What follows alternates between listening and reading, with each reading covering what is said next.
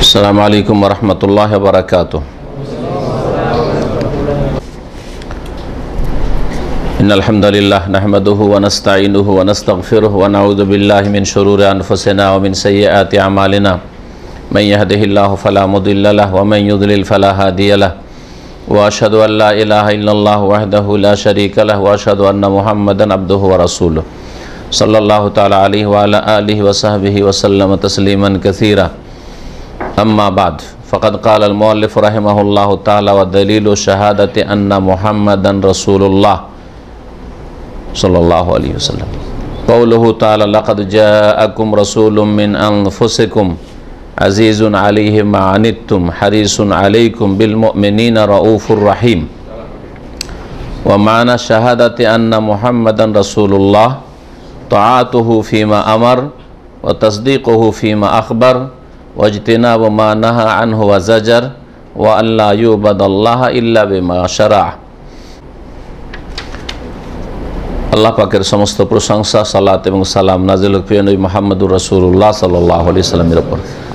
আমাদের সালাসাতুল ওসুল বা তিনটি মূলনীতি নামক কিতাব থেকে যে ধারাবাহিক আলোচনা চলছে ইসলামী সেন্টার রাকায় তাতে আমরা পৌঁছেছি রসুল্লাহ সাল্লাহ আলী সাল্লাম সম্পর্কে আলোচনা। মোহাম্মদ রসুল্লাহর যে শাহাদাত, বরং রসুল্লাহ সাল্লামের ব্যক্তি সম্পর্কে নয়, তার এই কথার শাহাদা সম্পর্কে যে আলোচনা, যেটি তিনটি মূলনীতির দ্বিতীয় মূলনীতির অন্তর্ভুক্ত। তিনটি মূলনীতির দ্বিতীয় মূলনীতি হচ্ছে আল্লাহর দিন সম্পর্কে জ্ঞান অর্জন করা, এই সম্পর্কে আলোচনা চলছে। তার একটা অংশ দিন সম্পর্কে বলা হয়েছিল যে দিন হচ্ছে ইসলাম ইমান আর এহসান, ঠিক না? আর ইসলামের কয়টি স্তম্ভ রয়েছে? পাঁচটি। প্রথম স্তম্ভ কি? লাইলাহাল্লাহর সাক্ষ্য প্রদান করা আর মোহাম্মদ রসুল্লাহ সাক্ষ্য প্রদান করা, ঠিক না? এই দুটো মিলিয়ে একটি হচ্ছে ইসলামের রুকন বা খুঁটি। তো এই কালেমায় দুটি অংশ রয়েছে। একটা হচ্ছে, লা এলাহ ইল্লাল্লাহ আল্লাহ পাকের তৌহিদ বা একত্রের ঘোষণা, সেই সম্পর্কে আলোচনা এর পূর্বে হয়েছে। এর দলিল, এর ব্যাখ্যা, এর তফসির, এই সম্পর্কে আলোচনা হয়েছে। এবং অর্থ লাইলাহিল্লাহর সঠিক অর্থ, আল্লাহ ছাড়া কেউ সত্য মাবুদ নেই। এসব নিয়ে আলোচনা হয়েছে। দ্বিতীয় অংশ এই রুকুনের, মোহাম্মদুর রসুল্লাহ মোহাম্মদ সাল্লাহ সাল্লাম আল্লাহর রসুল, আল্লাহর দূত, আল্লাহ পাক তাকে পাঠিয়েছেন আল্লাহর মনোনীত দিন, মানব জাতি পর্যন্ত পৌঁছে দেওয়ার জন্য, মানুষকে জানিয়ে দেওয়ার জন্য। এই মোহাম্মদ রসুল্লাহ এই কথাটি সাক্ষ্য প্রদান করা, যাকে শাহাদা বলা হয়। মোহাম্মদ সাল্লাহ সাল্লাম কে তিনি? আল্লাহর রসুল। এ কথার আপনি সাক্ষী দেবেন ঠিক আছে? সাক্ষী হবেন আপনি। সাক্ষী কি দিয়ে হয়? জবান দিয়ে হয়। কিন্তু তার সাথে সাথে যেই কথাটির সাক্ষী দিয়েছেন অন্তরে বিশ্বাস করা লাগে। যদি অন্তরে কোনো কথার বিশ্বাস না থাকে ওর বিপরীত বিশ্বাস থাকে আর যদি মুখে সাক্ষী দেন তাহলে আপনি মিথ্যুক। কারণ আপনি নিজেই ওটাকে ঠিক মনে করেন না আর মুখে বলছেন তাহলে মিথ্যুক না আপনি? মৃত্যু যেমন মোনাফেকদের সাক্ষী। মোনাফেকরা বলতো যে না সাধু ইন্নাকাল রসুল্লাহ আমরা সাক্ষী দিচ্ছি যে, হে মোহাম্মদ সাল্লাহ আপনি নিঃসন্দেহ আল্লাহ রসুল। ঠিক কিনা? তো নবী সাল্লাম আল্লাহর রসুল, এতে কোনো সন্দেহ আছে? সন্দেহ নয় তাই এই যে মুখে কথাটি বলছে মোনাফিকরা বা বলেছে মোনাফিকরা, নবী করিম সাল্লাহ সাল্লামের জামানায়, কথাটি ভুল? না, কথা সত্য? কথা সত্য। কথা যখন সত্য, আল্লাহ বলছেন আল্লাহ আলম ইন্নাকাল্লা রস আল্লাহ ইয়াসাদ ইন্নাল মুনাফিক এলাকা আল্লাহ জানছেন যে নিঃসন্দেহে, হে নবী, তুমি আল্লাহ রসুল। কিন্তু আল্লাহ এ কথারও সাক্ষ্য প্রদান করছেন কি? ইন্নাল মুনাফিকিনা লাকা দেব নিঃসন্দেহে মোনাফিকরা হচ্ছে মিথ্যাবাদী। মোনাফিকি মিথ্যুক কেন? বললেন আল্লাহ। কথাটা তো সত্য ছিল। কথাকে মিথ্যা বলেছিল? তাহলে কথা মিথ্যা বললে মৃত্যুক হয় না। যেই কথাটি বলছেন, সেই কথার উপর আপনার আস্থা বিশ্বাস না থাকলে আপনি মৃত্যু। ঠিক না? জি। তো, মোহাম্মদ রসুল্লাহ সাল্লাহ আলী সাল্লাম মোহাম্মদ সাল্লাহ আল্লাহ রসুল, এই কথার সাক্ষ্য প্রদান করা সাক্ষী দেওয়া সাধারণত কি দেওয়া হয়? জবান দেওয়া হয়, কিন্তু তার সাথে সাথে অন্তরের মিল থাকতে হবে। কিসের সাথে? জবানের কথার সাথে। এই কথার দলিল কি? যে ইসলামের প্রথম স্তম্ভ হচ্ছে কি? লাহ সাক্ষী দাও আর মোহাম্মদ রসুল্লাহ সাক্ষী দাও। লাহ সম্পর্কে আলোচনা শেষ হয়ে গেছে। ওটা আর নিয়ে আসব না আমরা। মোহাম্মদ রসুল্লাহ মোহাম্মদ আল্লাহর রসুল, আল্লাহর দূত। আর আল্লাহর কথা জানতে হলে তাহলে কার মাধ্যমে জানতে হবে? আল্লাহর যিনি দূত মেসেঞ্জার তার মাধ্যমে জানতে হবে। অন্য মাধ্যম দিয়ে জানলে চলবে না। এই যে কথাটি আপনি সাক্ষী দেবেন, অন্তরে বিশ্বাস করে, এর দলিল কি? কোরআন করিম থেকে। এই দলিল পেশ করা হচ্ছে। বলছেন দলিল ও শাহাদাতে আন্না মোহাম্মদান রসুল্লাহ এ কথার সাক্ষ্য প্রদান করার দলিল যে মোহাম্মদ সাল্লাহ আল্লাহর রসুল। কোরআন করিমের সুরাত আয়াত নম্বর একশো আঠাইশ আল্লাহ পাক ইরশাদ করছেন, লাকাদ জাআকুম রাসূলুম মিন আনফুসিকুম আজিজুন মা আনিতুম হারিসুন আলাইকুম বিল মুমিনিনা রাউফুর রাহিম। এই আয়াতে নবী করিম সাল্লাল্লাহু আলাইহি সাল্লামের গুণ বর্ণনা করা হয়েছে। একটি হচ্ছে, মিন আনফুসিকুম। আর একটি হচ্ছে, আজিজুন মা আনিতুম আর একটি হচ্ছে, হারিসুন আলাইকুম। আর একটি হচ্ছে, বিল মুমিনিনা রাউফুন। আর একটি হচ্ছে, রহিমুন। পাঁচটি গুণ নবী করিম সাল্লাল্লাহু আলাইহি সাল্লামের বা বৈশিষ্ট্য বর্ণনা করা হয়েছে। বৈশিষ্ট্যর সংজ্ঞা হচ্ছে যে যা তার মধ্যে থাকে অন্যের মধ্যে থাকে না। বৈশিষ্ট্য কাকে বলে? শব্দ বাংলা কিন্তু এর সংজ্ঞা হয়তো আপনি যদি জিজ্ঞেস করেন বৈশিষ্ট্য মানে কি? এগুলি হচ্ছে আপনার বৈশিষ্ট্য। তার মানে আপনার মধ্যে এই গুণগুলি আছে অন্যের মধ্যে না। বুঝতে পারছেন? বৈশিষ্ট্য। তো নবী করিম সাল্লামের পাঁচটি বৈশিষ্ট্য এখানে উল্লেখ করা হয়েছে। দেখেন কি বলা হয়েছে। আল্লাহ পাক বলছেন, নিঃসন্দেহে হে মানব জাতি তোমাদের কাছে আগমন করেছেন একজন রসুল। একজন কে? রসুল। তার নাম কি? মোহাম্মদ সাল্লাম কোরআন নাজল হচ্ছে তার ওপর এটি কোরআনের আয়াত। তেন মোহাম্মদ সাল্লাম আল্লাহর রসুল, এ কথা দলিল পাওয়া গেল কি গেল না? এ কথা দলিল হয়ে গেল। এ কথা দলিল হয়ে গেলে। এতটুকু যথেষ্ট দলিল হওয়ার জন্য। কিন্তু তারপরে মিন আনফুসেকম থেকে নবী সাল্লামের এখন বৈশিষ্ট্য বর্ণনা করা হচ্ছে। পাঁচটি। মিন আনফুসেকুম, তোমাদের মধ্য থেকেই। তিনি অন্যদের নয়, তোমাদের মধ্য থেকে। এতে মানব জাতিকেও সম্বোধন রয়েছে যে তিনি জিন জাতির না, তিনি ফেরেস্তা জাতির না।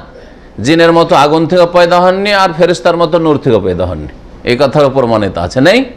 তাহলে মিন আনফুসিকুম, স্পষ্ট দলিল যে নবী নূরের তৈরি, না ফেরেস্তাদের মতো জিব্রাইল, মিকাইল, ইসরাইফিলের মতো। মিন আনফুসিকুম, হে মানব জাতি তোমাদের মধ্য থেকে তোমরা কিসের পয়দা মাটির পয়দা আদম কিসের পয়দা আদমের যত আওলাদ ছিল, এখন আছে, কিয়ামত পর্যন্ত আসবে, তারা কিসের পয়দা বাপ, যেহেতু মাটির পয়দা সেজন্য মাটির পয়দা ঠিক না? মাটির পয়দা তাহলে নবী করিম সাল্লাম যে মাটির এ কথার দলিল এখানে আছে না নেই? কোরআনকে অস্বীকার করলে মুসলিম থাকে? তো নবীকে যদি কেউ নূরের পয়দা বলে তাহলে সে কি থাকবে? এখন আপনারা বিচার করুন। এছাড়াও অনেক দলিল আছে কোরআনে করিমে, যে নবী করিম সাল্লাম বাসার আর বাসারকে আল্লাহ মাটি থেকে তৈরি করেছে সেদিকে যাচ্ছেন, এই যে আমাদের আলোচনাতে যে আয়াতটি আসছে, এতে থেকে শিখেন যে এইখানেই প্রমাণ যে নবী তোমাদের মধ্যেকার অন্যদের না। জিন জাতির না আর ফেরিস্তা জাতির না। তোমাদের মধ্যেকার। মিন আনফুসেকুম বলে সম্বোধন সমস্ত মানব জাতিকেও করা হয়েছে, আর বিশেষ করে আরব জাতিকে করা হয়েছে, আর বিশেষ করে মক্কার কোরেশদেরকে করা হয়েছে। কেমন করে? তোমাদের মধ্যে থেকে মানে মানব জাতি বুঝাইলাম যে মানুষ, তোমরাও মাটির, তিনিও মাটির। আরব, হে আরবরা, তোমরা আরবি ভাষাভাষী, তোমাদের নবী দেখো, আরবিতে কথা বলেন, কোরআন আরবিতে নাজল হয়েছে, তিনি হাদিস বলছেন তোমাদেরকে শিক্ষা দিচ্ছেন আরবি ভাষায়। আরবরা তোমাদের মধ্যে তোমাদের মধ্যে পাঠিয়েছি। আমি ইচ্ছা করলে আমি ল্যাটিন ভাষায় পাঠাইতে পারতাম, ইউরোপ ভাষায় পাঠাইতে পারতাম। আমি ইচ্ছা করলে আমি এশিয়ার অন্য ভাষায়, ফার্সি ভাষায়, উর্দু ভাষায়, হিন্দি ভাষায়, বাংলা ভাষায়, অন্য ভাষায় পাঠাইতে পারতাম। তাই না? চাইনিজদের সংখ্যা কম না, তাদের ভাষায় পাঠাইতে পারতাম। মিন আন তোমাদের মধ্যে তো, সুতরাং তোমরা এর মূল্যায়ন করো, এর মর্যাদা দাও, কদর করো, এই নিয়ামতের। মক্কার লোকদের বিশেষ করি, আর বিশেষ করে মক্কার আবার কোরাইশদেরকে বলা হচ্ছে যে, হে মক্কাবাসী, তোমাদের মধ্যে কার আরব তো অন্যরাও আছে মক্কাই পাঠিয়েছি। হে কোরাইশ, তোমাদের বংশে পাঠিয়েছি। এই মিন আনফুসিকম বলে এতগুলি কথা আছে। ঠিক কিনা? এটা বলাতে ফায়দা কি? এই বৈশিষ্ট্যে ফায়দাটা কি? অনেক গুরুত্বপূর্ণ কথা এটা আছে। আমি যদি আপনাদেরকে বলি যে, দেখেন, আমি আপনাদেরই লোক। এই কথা আপনার অন্তরে নাড়া দেবে না দেবে না? যে, আমি আপনাদের পর না। হ্যাঁ? আমি আপনাদের আপনজন। আপনাদের মধ্যেকার একজন। ঠিক না? তাহলে আপনাদের অন্তরে হ্যাঁ? নক করবে, কি করবে না? যে সুতরাং ভালোবাসুন হ্যাঁ? আপনাদের আমি দরদি, আপনাদের হিতাকাঙ্ক্ষী, আপনাদের মধ্যেকার আপনাদের জন্য অকল্যাণ চাই না। ঠিক কিনা? হ্যাঁ জি হ্যাঁ। যে কোনো ব্যক্তি, আপনি যদি আপনার ভাইদেরকে বলেন, আরে, আমি কি পর মানুষ নাকি? হ্যাঁ? কেন বলেন? যে একই মায়ের পেটের সন্তান, বলার উদ্দেশ্যটা কি? হ্যাঁ? উদ্দেশ্য বুঝতে পারছেন আপনি। তো ঠিক ওই রকমই বলা হয়েছে মানব জাতিকে বলা হয়েছে আরবদেরকে, বলা হয়েছে মক্কাবাসীকে, বলা হয়েছে কোরাইশদেরকে, তোমাদের মধ্যে কার তোমরাই শত্রুতা করছ। তোমরাই শত্রুতা করছ। তার দাওয়াত কবুল করছ না? মিন আনফুসেকুম। তোমাদেরই একজন হচ্ছেন মোহাম্মদুর রসুল্লাহ সাল্লাহ সাল্লাম। একটি বৈশিষ্ট্য। অন্যদের মধ্যে কার না তিনি। আজিজুন আলিহে মা আনিতুম। আনাত মানে হচ্ছে কষ্ট। আল আনাতা মানে আল মাসাক্কাতা জালেক লেমান খাসি আল আনাতা মেনকুম করেন একটি আয়ত রয়েছে। যে কষ্ট কষ্টের আশঙ্কা করবে। তাহলে এই আনাত থেকে হচ্ছে আনিতুম তোমাদের যা কষ্ট দেই তা তার জন্য কষ্টকর। আজিজুন মানে শাকুন। আজিজুন মানে এখানে কষ্টকর। আজিজের কয়েকটি অর্থ হয়। আজিজের একটি অর্থ হচ্ছে প্রিয়। হ্যাঁ? প্রিয়। ডিয়ার যেটা ইংলিশে বলছে মাই ডিয়ার হ্যাঁ? আজিজি আজিজের একটি অর্থ হচ্ছে আল্লাহ আল্লাহ আজিজুন হাকিম আল্লাহর একটি নাম হচ্ছে আজিজ ওখানে অন্য অর্থে আছে। কোন অর্থে? পরাক্রান্ত যাকে কেউ পরাজিত করতে পারে না। জি আজিজ সর্বজয়ী যিনি। ইজ্জত থেকে। আজিজ শব্দ তখন কি থেকে? ইজ্জত। থেকে একমাত্র যিনি সার্বিক ইজ্জতের মালিক। যাকে কেউ অপদস্থ বেইজ্জত করতে পারে না। কিন্তু আপনাকে, আমাকে, দুনিয়ার যে কোনো শক্তিকে ইজ্জত আছে বেইজ্জত করতে পারে। পারে না পারে না। কিন্তু আল্লাহকে কেউ পারে না। এই ইজ্জতের অর্থ রয়েছে আজিজ নামে আল্লাহ ফাকরাবুল আলমিনের। ওইটাকে বলছেন মহাপরাক্রান্ত বা পরাক্রমশালী হ্যাঁ বা সর্বজয়ী, যেভাবে বলেন না কেন। কিন্তু এই অর্থ রয়েছে আজিজ নামে আল্লাহ ফাকরাবুল আলমিন অলিল্লাহ ইজ্জত ওয়ালি রসুল ওয়ালিল মোমেনিন। আজিজ আলী, তাহলে আজিজ মানে কষ্টদায়ক, আজিজ মানে প্রিয়, আর আজিজ মানে কি বললাম? পরাক্রান্ত হ্যাঁ? যার যিনি ইজ্জতের মালিক, ইজ্জতের আধার। আর আরেকটি অর্থ রয়েছে। বললাম ওইটা। আর আজিজ আর একটি হাদিসের ক্ষেত্রে ব্যবহার হয়। মশহুর মোতাবাতের মশহুর আজিজ গরিব। ওইখানে আলাদা অর্থে রয়েছে।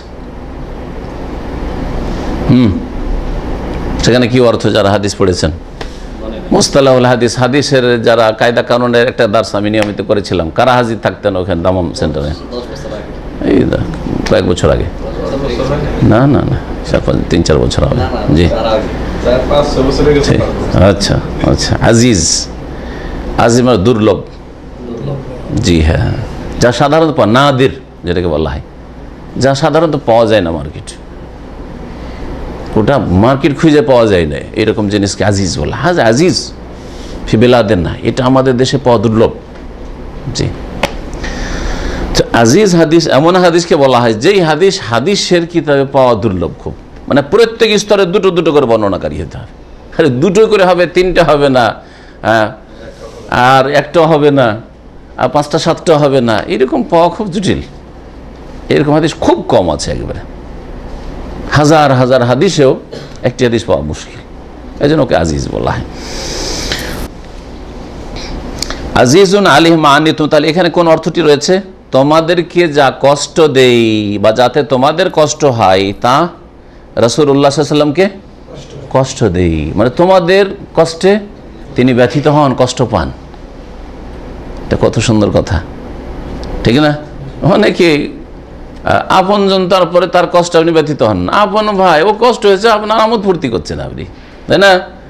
আপন বোন কষ্টে আছে আমোদ ফুর্তি করছেন। কিন্তু রসুল্লাহ সমস্ত মানুষের জন্য, মানব জাতিকে সম্বোধন, মানব জাতি আদম সন্তানকে সম্বোধন, সমস্ত মানুষকে আজিজ আনিতুম, হে মানব জাতি, তোমাদের কষ্ট হলে রসুল তাতে কষ্ট পান।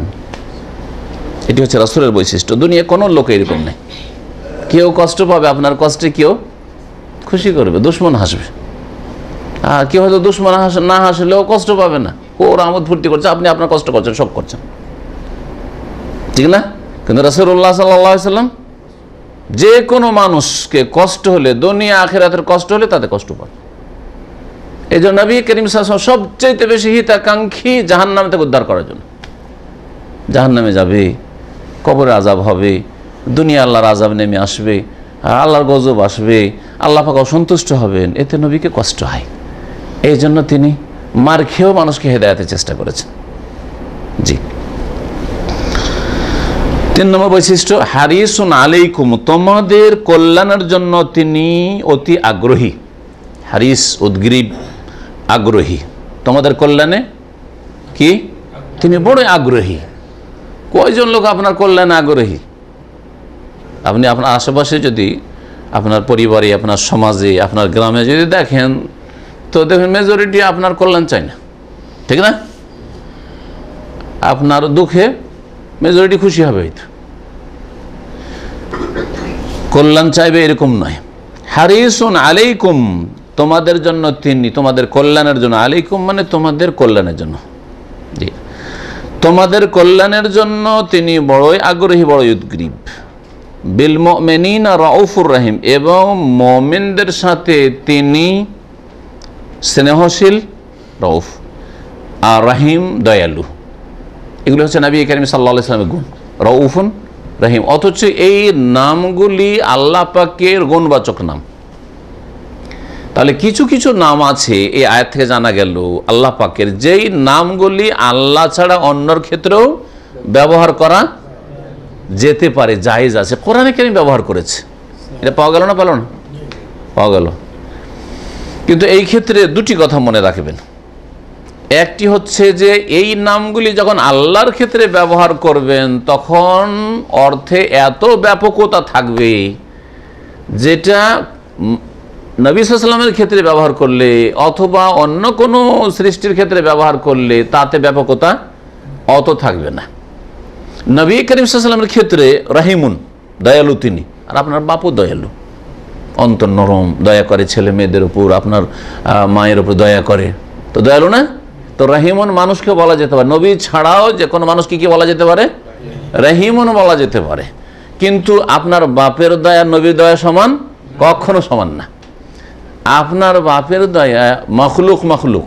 আপনার আব্বা আপনার আম্মা, আপনার বড় ভাই বা আপনার ধরেন মালিক, সে একজন সৃষ্টি, আল্লাহর মখলুক আর নবী কেন আল্লাহর মখলুক। দুইজনের দয়াতে যদি সমান না হয়, এত পার্থক্য থাকে, অর্থের ব্যাপকতা থাকায় আর না থাকায়, তাহলে খালেক মখলুকের ক্ষেত্রে, মখলুক রসুল্লাহ সৃষ্টি আর খালেক স্রষ্টা আল্লাহ ফাকরবুল আলমিন আল্লাহ রাহিম আল্লাহ রউফ আর নবীও রউফ রাহিম অর্থে আসমান, জমিন তারও বেশি পার্থক্য রয়েছে, ঠিক না? জি হ্যাঁ। আল্লাহকে যখন রাহিম বলবেন, তখন ব্যাপক অর্থে আল্লাহ রাহিম, দয়ালু, দয়াবান। নবী করিমের ক্ষেত্রে সেটা কমে আসবে। মখলুক সবচেয়ে শ্রেষ্ঠ মখলুক যতটা দয়ালু হন, আল্লাহ যতটা তাকে দয়ালু করে ততটা তিনি দয়ালু, ঠিক আছে? অন্য ক্ষেত্রে সাহাবিও দয়ালু। কিন্তু সাহাবি নবী তুলনা চলবে না। চলবে? সাহাবির যদি তুলনা না চলে, তো কোনো আলেম আলমার চলবে না, কোনো এমামের চলবে না হ্যাঁ? নবীর সাথে তুলনা, কোনো মানুষের চলবে না। জি, যতই দয়ালু হয়ে যাক না কেন। এইভাবে রহিমের অর্থ করতে হবে। যার ক্ষেত্রে রহিম শব্দ, রাউফ শব্দ ব্যবহার করছেন, যেহেতু আল্লাহ ছাড়া অন্যের জন্য ব্যবহার করা, প্রয়োগ করা জায়েজ রয়েছে যার ক্ষেত্রে প্রয়োগ করছেন, ব্যবহার করছেন, ওর দিকে লক্ষ্য করে অর্থ করবেন। ঠিক আছে? এই একটি কথা। দ্বিতীয় কথা হচ্ছে যে, এই গণবাচক নামগুলি, যেগুলি আল্লাহর ক্ষেত্রেও, আল্লাহর গণবাচক না, সেফাতি নাম, আর মানুষের ক্ষেত্রেও প্রয়োগের বৈধতা রয়েছে কোরআন এবং সেগুলিকে আলিফ লাম দিয়ে একমাত্র আল্লাহর জন্য ব্যবহার করবেন। আল্লাহ অন্যের জন্য আলিফ লাম দিয়ে ব্যবহার করা যাবে না। কেমন? যারা গ্রামার বুঝেননি, হয়তো কথাটাকে ভেঙে বুঝাইতে হবে। রউফন রাহিম, দেখেন এখানে নবীর ক্ষেত্রে নাকিরা। আর রউফ উল্লেখ করা হয়নি, আল দিয়ে নাই। আর রাহিম করা হয়নি, ঠিক না? কিন্তু আল্লাহর ক্ষেত্রে, আলহামদুলিল্লাহ রব্বিল আলমিন, তারপরে আর রহমান, আর রহিম। আর রহিম আছে না নেই? আর রহিম, তাহলে আর রহিম কাকে বলবেন? একমাত্র আল্লাহকে বলবেন, কিন্তু আপনার বাপকে আর রহিম বলা যায় নাই। নবীকে আর রহিম বলবেন না আপনি। তাহলে আল্লাহর জন্য আল দিয়ে বলছেন, নবীর জন্য বলা হয়ে যাবে। এটা চলবে না। তখন অর্থে অনেক ব্যাপকতা চলে আসবে। যেমন হামদুন মানে প্রশংসা, ঠিক আছে? কিন্তু আলহামদ, সমস্ত প্রশংসা, যাবতীয় প্রশংসা, ব্যাপকতা আসলো না আসলো না? ঠিকই তেমনই রাহিমুন দয়ালু, কিন্তু আর রাহিম হ্যাঁ? পরম দয়ালু। এই জন্য এই দুটি কথা মনে রাখবেন। অর্থের ব্যাপকতার ক্ষেত্রে পার্থক্য রয়েছে। সৃষ্টি এবং স্রষ্টার ক্ষেত্রে প্রয়োগ যখন করবেন তখন আর শব্দের প্রয়োগের ক্ষেত্রে পার্থক্য রয়েছে যে আল দিয়ে ব্যবহার করবেন একমাত্র আল্লাহর গুণের ক্ষেত্রে আর বিনা আলে ব্যবহার করবেন রাসুল্লাহ সাল্লামের ক্ষেত্রে। বলবেন আন্নবী ও রাহিমুন হ্যাঁ? হ্যাঁ। আমার নবী রাহিম আমার নবী রউফ এইভাবে বলেন কিন্তু আমার নবী আর রাহিম আমার নবী আর রউফ না। জাজ নাই। কারণ আল্লাহর হক কাউকে দেওয়া যাবে না। যতই বড় নবী রসুল হোক না কেন, আল্লাহর হক যদি কাউকে দিয়ে দেন, তোর নাম কি? সতর্ক, সাবধান। জি। মখলুক মখলুকের হক পাবে, সৃষ্টি সৃষ্টির হক পাবে। কিন্তু খালেক, স্রষ্টার হক সৃষ্টি পাওয়ার অধিকার রাখে না। এই হচ্ছে তৌহিদ। এটা হচ্ছে তৌহিদ। এই হচ্ছে লাইলাহিল্লাহর দাবি। তাহলে পাঁচটি বৈশিষ্ট্য পেলেন রসুল্লাহ সাল্লামের পেলেন না পেলেন না? জি হ্যাঁ ভালো করে মনে রাখবেন। নবী মোহাম্মদ সাল্লাহ আলী সাল্লাম যে আল্লাহর রসুল, এর দলিল শুধু এই আয়াতটি নয় এছাড়া অনেক রয়েছে। সুরা আল ফাথের আয়াত নম্বর উনত্রিশ। বড় আয়াত রয়েছে, তার প্রথম অংশ হচ্ছে মোহাম্মদুর রসুল্লাহ আলাল কুফার মোহাম্মদ রসুল স্পষ্ট রয়েছে। ঠিক না? জি। আরও রয়েছে, শোনেন। আল্লাহ পাক সুরে আরাফের আয়াত নম্বর একশো আটান্নতে এরশাদ করেছেন কলিয়া ইউহার নাস হে নবী, সমস্ত মানুষকে জানিয়ে দাও, ঘোষণা করে দাও, হে মানব সকল, ইন্নি রসুল্লাহ এলাইকুম জামিয়া ইন্নি রসুল্লাহ আমি নিঃসন্দেহে কি? আল্লাহর রসুল রসুল্লাহ স্পষ্ট দলিল কিনা যারা কোরআনকে বিশ্বাস করে, কোরআনকে মানে সেই ব্যক্তির জন্য একটি আয়াত যথেষ্ট দলিল হিসাবে বা একটি হাদিস যথেষ্ট। যে তিনটি আয়াত পেশ করা হলো। এছাড়াও কোরআন কেরিমে দলিল রয়েছে, আর হাদিসে বহু দলিল প্রমাণ রয়েছে। এই ছিল কিসের দলিল? যে মোহাম্মদ সাল্লাম আল্লাহর রসুল এই কথার দলিল। এখন মোহাম্মদ রসুল্লাহ কথাটি যে আমরা সাক্ষ্য প্রদান করব এর অর্থ কি? এর অর্থে চারটি বিষয় রয়েছে।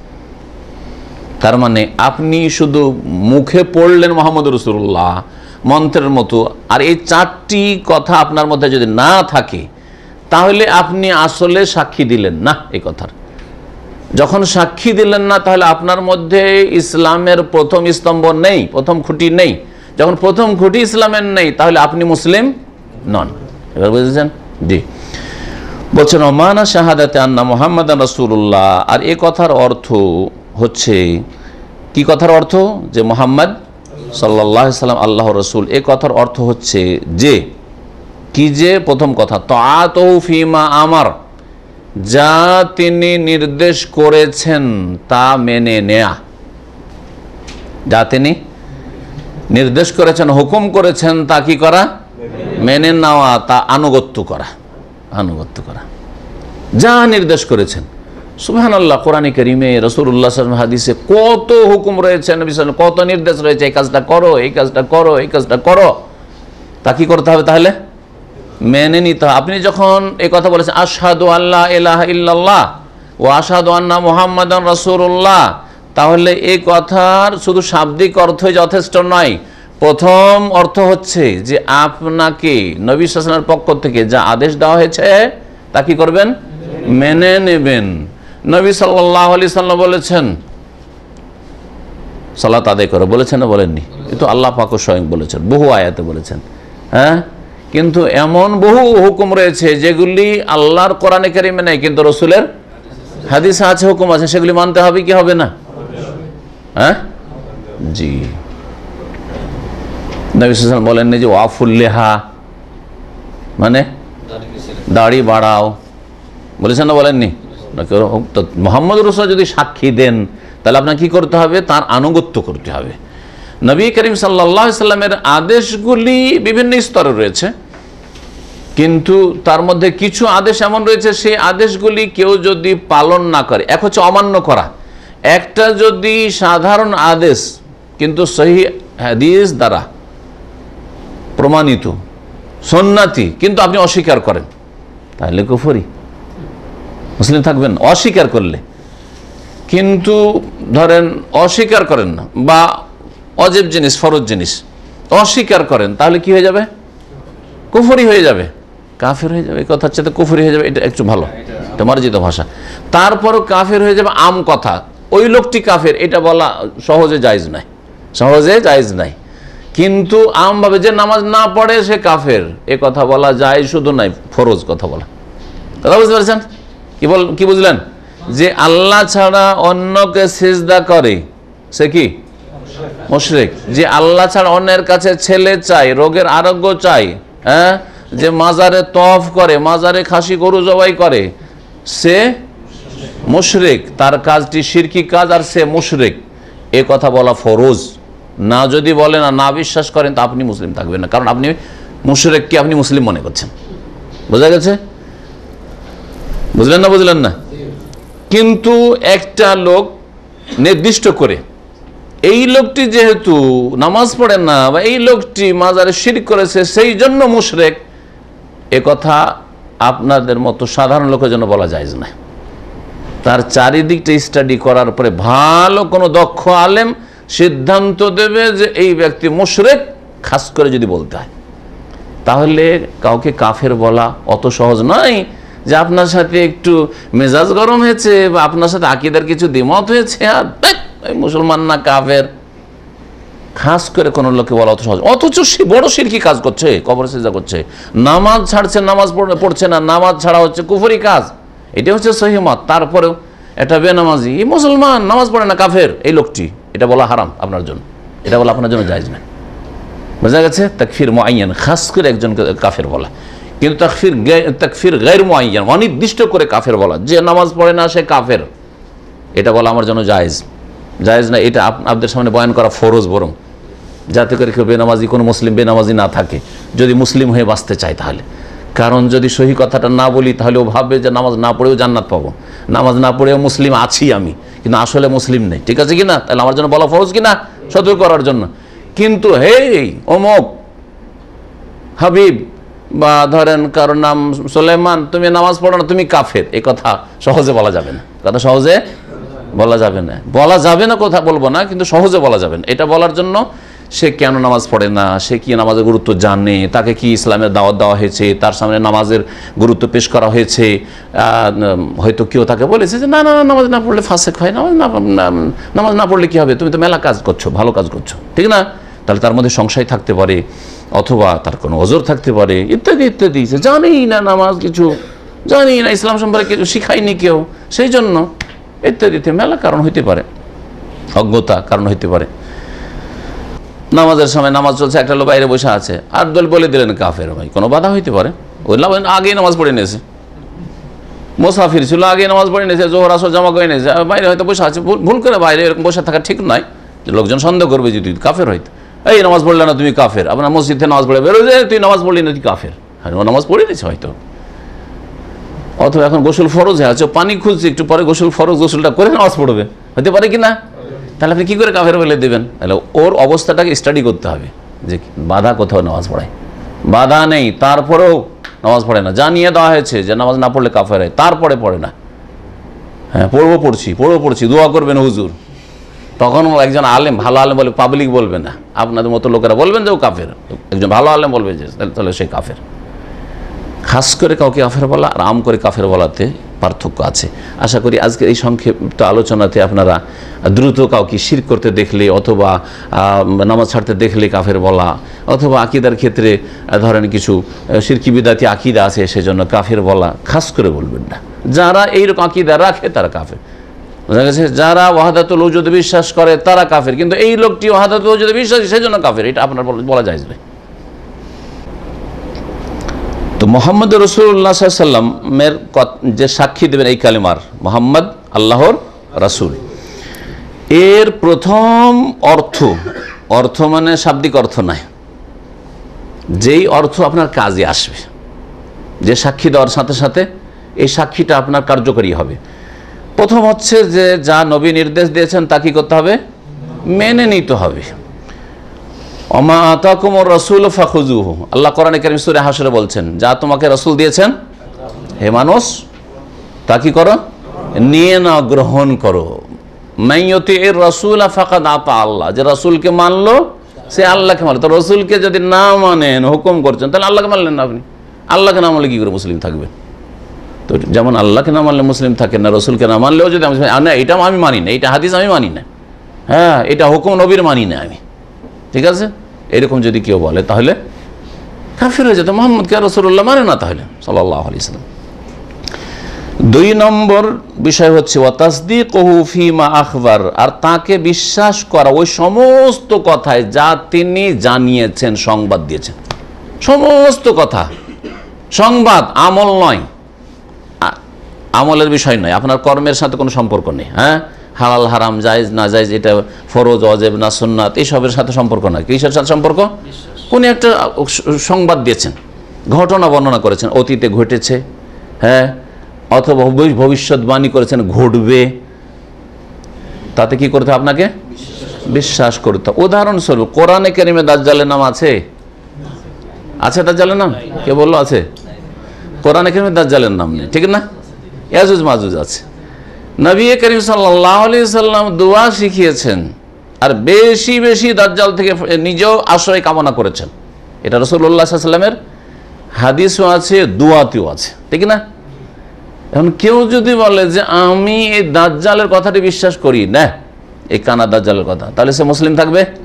থাকবে না। কারণ সে মোহাম্মদকে রসুল্লাহ মানল না। বিশ্বাস করল তাসদিক ও ফিম আখবার, যা খবর দিয়েছেন, আপনাকে বিশ্বাস করতে হবে। নবী করিম সাল্লাহ সাল্লামের হাদিস আছে যে বনি ইসরায়েলের মধ্যে তিনজন লোক ছিল হ্যাঁ? আছে না নেই? তিনজনের ঘটনা। দুটো ঘটনাতে তিনজনের কিস্তা আমি কিস্তা শোনাচ্ছি না। এটা অতীতে ঘটেছে। কোরআনে কিন্তু এই ঘটনা নেই। কিন্তু নবী করিম সাল্লাম হাদিসে আছে। নবী সাল্লাহ বলেছেন যে, লাম ইউকাল্লিম ফিল মাহাদে হ্যাঁ? ইল্লা সালাসা। মায়ের কোলে তিনজন ছাড়া কেউ কথা বলেনি। বলছে, আমি এটা মানি না যে, মায়ের কোলে কেউ কথা বলবে। দশ দিন, পাঁচ দিনের শিশু আর কথা বলে এটা আমি মানি না। তাহলে সে মুসলিম থাকবে? নবীকে বিশ্বাস করল না তাহলে। দেখি না? জি হ্যাঁ। এরকম বহু ঘটনা রয়েছে। বহু ঘটনা রয়েছে। কোরআনে কেরিমে নাই, কিন্তু রসুল্লাহামের হাদিসে রয়েছে। মানতে হবে না হবে না?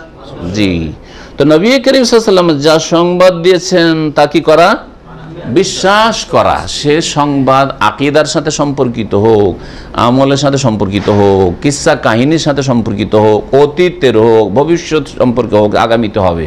নবী করিম সাল্লা সাল্লাম বলেছেন যে, এমন লোকেরা কেয়ামতের কাছাকাছি আসবে? যারা খেতে পেত না, পায়ে তাদের জুতা স্যান্ডেল ছিল না শরীরে তাদের বস্ত্র ছিল না হ্যাঁ? আর তারা বকরি ছাগল চড়াইতো ঠিক না? অন্তারাল হফাতাল ওরা তারে আশা বকরি চড়া সবেরা। রাখাল এত তাওয়ালনে ফেল বনিয়ান এত বড় বড় টাওয়ার তৈরি করবে আর অহংকার করবে। বলছে আমি এই হাদিস বিশ্বাস করি না। এটা নবীর ভবিষ্যৎবাণী না? মুসলিম থাকবে? না তাহলে মোহাম্মদ রসুল্লাহ আপনি মানলেন না ঠিক না? নবী করিম সাল্লাহ আলি সাল্লাম বলেছেন যে মহিলাদের সংখ্যা বেড়ে যাবে একজন পুরুষকে পঞ্চাশ জন মহিলা দেখাশোনা করতে হবে। কেমতের কাছাকাছি সময়। সে না, এটা হইতে পারে না। কিছুটা মহিলার সংখ্যা পৃথিবীতে বেড়েছে, মেয়েদের সংখ্যা বেড়েছে, কিন্তু এইটা একজন কে পঞ্চাশ জনের দেখাশোনা করতে হবে। একটা পুরুষ বেঁচে আছে, গোটা বংশে আর কোনো পুরুষ লোক নেই, যার ফলে কেনাকাটা, বাজার, দেখাশোনা খোঁজ খবর বা বিবাহ সাদী দিতে হবে, তো অলিত হইতে হবে পুরুষকে। ওই পঞ্চাশটা মেয়ের বিয়ে দেওয়ার জন্য একজন লোক। হ্যাঁ আল্লাহ এখন কি ঘটেছে এটা? না, ঘটেনি। ঠিক না? কিন্তু এটা ঘটবে। এত লড়াই হবে আর এত হতাহত হয় মানুষ যে পুরুষ পুরুষ তো রণক্ষেত্রে পুরুষ বেশি থাকে। মহিলা বাঁচবে, পুরুষ সব মরে যাবে। গোটা বংশে একটা পুরুষ লোক আছে।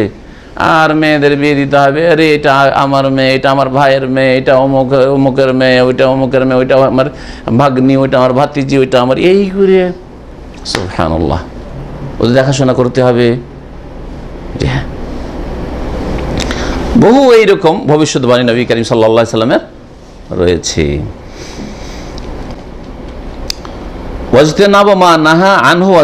আর তৃতীয় অর্থ হচ্ছে মোহাম্মদকে রসুল্লাহ বলার। মোহাম্মদ সাল্লাহ সাল্লামকে আল্লাহ রসুল বলার অর্থ এই না যে শুধু মুখে বলছেন, বরং যা থেকে তিনি নিষেধ করেছেন এবং যা থেকে তিনি সতর্ক করেছেন। যাজার মানে ধমক দেওয়া। কবরদার এরকম কাজ করবে না আল্লাহ লানত হবে এরকম কাজ করলে। হ্যাঁ? আল্লাহর গজব হবে, কাফের হয়ে যাবে। নবী বলছেন যে, ফামান তারা কাহা ফাকাদ কাফারা যে নামাজ ছেড়ে দেয়, সে কি হয়ে যায়? কাফের হয়ে যায়। নবী সাল্লাম লান আল্লাহ মানে যাবা হলে গাইরিল্লাহ আল্লাহ লানত হয় যে, আল্লাহ ছাড়া অন্যের জন্য জবাই করে, পীরের জন্য জবাই করে, মাজারের জন্য জবাই করে। আল্লাহ ছাড়া অন্য কারও জন্য জবাই করে, তার সান্নিধ্যের লাভের জন্য। তারপর লানত করেছেন। তো নবী সাল্লাম তাহলে কি করেছেন? শাসন করেছেন, ধমক দিয়েছেন, জাজার। সতর্ক করেছেন। তাতে কি করতে হবে তাহলে? বেঁচে থাকতে হবে। নবী সাল্লাম নিষেধ করেছেন, এই কাজটা করিও না। তাহলে কি করতে হবে একজন মুসলিমকে? যদি মোহাম্মদ রসুল্লাহকে মানে তাহলে? হ্যাঁ? আর এই কলমা যদি সাক্ষ- সাক্ষী আসলেই দিয়ে থাকে, সত্যিকার অর্থে মুসলিম হওয়ার জন্য, তাহলে তাকে বেঁচে থাকতে হবে। ওমা নাহাকুম আনহো ফান্তাহু। ওমা আতাকুম রসুল ফখুজু ওমা নাহাকুম আনহো ফান্তাহু। যা নবী সাল্লাহ সাল্লাম হুকুম করেছেন বা দিয়েছেন, তা তোমরা কি করো? গ্রহণ করো। ওমা নাহাকুম আনহু, আর যা থেকে তোমাদেরকে বারণ করেছেন নিষেধ করেছেন, তার থেকে বিরত থাকো, ফান্তাহু, বেঁচে থাকো। জি। নবী করিম সাল্লাহ আলি সাল্লাম কি নিষেধ করেননি যে তোমরা এই ভুরু ভুরু চিকন করিও না? মহিলাদের করেছেন না করেননি? হ্যাঁ তো আজকালকার মহিলারা করে না করে না। তাহলে মোহাম্মদকে রসুল্লাহ মানছেন আর এদিকে না ভরমানি করছেন? নবী করিম সাল্লাম বলেছেন যে তোমরা চল্লিশ দিনের বেশি যেতে দিও না, তোমাদের অপ্রয়োজনীয় যেসব লোম রয়েছে, কেউ যদি ছয় মাস কাটে না, বন জঙ্গল করে রেখেছে। হ্যাঁ তো মানা হাক তো নবী সাল্লাম নিষেধ করে যেমন নিষেধ নিষেধ মানে না, ঠিক না? এইরকম বহু বহু জিনিস রয়েছে। এক কথায় আপনাকে তাহলে দিন জানতে হবে যে আল্লাহ নবী সালাম কী হুকুম করেছেন, তাহলে আমাকে ওটা পালন করতে হবে। নবী সালাম কোনটা নিষেধ করেছেন, তাহলে ওতে বাঁচতে হবে। নবী সাল্লাহ সাল্লাম ঘুষ থেকে নিষেধ করেছেন কিনা, সুদ থেকে নিষেধ করেছেন কিনা, তাহলে আপনাকে বাঁচতে হবে। যত হারাম রয়েছে নাজাইজ রয়েছে, এগুলি নবী সাল্লাম নিষেধ করেছেন। আর যত ফরজ অজেব রয়েছে বা সন্ন্যত রয়েছে, সেগুলি নবী সাল্লাহ সাল্লামের হুকুম, সুতরাং সেগুলিকে কী করতে হবে? আদায় করতে বাস্তবায়ন করতে হবে। কটা হলো হ্যাঁ তিনটা হয়েছে। পাঁচ নম্বর। চার নম্বর হ্যাঁ চার নম্বর। মোহাম্মদ সাল্লা সাল্লামকে আল্লাহ রসুল মানার অর্থ হচ্ছে চার নম্বরে ও আল্লাহ ইউবাদ আল্লাহ ইল্লা বেমা সারা আল্লাহর এবাদত করবেন একমাত্র নবীর তরিকা অনুযায়ী। নবী যে শরীয়ত নিয়ে এসেছেন সারা যে শরীয়ত নবী সাল্লাহ সাল্লাম প্রচার করেছেন মানুষকে জানিয়েছেন, সেই তরিকা মোতাবেক কি করতে হবে? একমাত্র আল্লাহর ইবাদত। আল্লাহ ইউবাদ আল্লাহ আল্লাহর ইবাদত করা যাবে না। ইল্লা বেমা সারা একমাত্র কোন তরিকাই? রসুলের নিয়ে আসা শরীয়তি তরিকায়। এর মাধ্যমে যত বিদাত মুসলিমরা করে, সব কিছুর উৎখাত। তাহলে মোহাম্মদ সাল্লামকে রসুল যদি আপনি মানেন, তাহলে এমন কোনো এবাদত বন্দি করবেন না অন্তরের এবাদত, জবানের এবাদত, অথবা অঙ্গ প্রত্যঙ্গের এবাদত, যেটা নবী সাল্লাহ সাল্লাম করেননি বা বলেননি, তার শরীয়তে নেই। এখন এই এই বিষয়ে জিকিরের তাই না? জিকির দিয়ে বোঝায়, কারণ জিকিরের ক্ষেত্রে বড় ভেজাল আছে। আমার দেশের লোকেদের মধ্যে জিকিরে এত ভেজাল যে দুই শ্রেণির লোক জিকিরের ক্ষেত্রে এই দিকে নয়, ওই দিকে। আর নবীর তরিকার জিকিরকারী লোক পাওয়া যায় না আমাদের। বুঝছেন? এক শ্রেণির লোকেরা জিকির করে, কিন্তু নবীর তরিকার পরোয়া করে না। জিকির করে, খুব বেশি জিকির করে, কিন্তু নবীর তরিকার বেপরোয়া হয়ে, ধার, ধারে না নবীর তরিকার। আর এক শ্রেণির লোকেরা জিকিরের বিরোধিতা করে, কোনো জিকির নেই, সকালেরও জিকির নেই, সন্ধ্যারও জিকির নেই, নামাজের পরেও জিকির, সালাম ফিরে দিল, টান, বা বিদাতি মোনাজাত তারপরে বাড়িতে ঢুকলেও জিকির নেই, গাড়িতে চললেও জিকির নেই, কোনো জায়গায় নামলেও জিকির নেই, ঘুমে, ঘুমের আগে খানেও জিকির নেই, ঘুম থেকে উঠেও জিকির নেই। কেমন কথা হইল?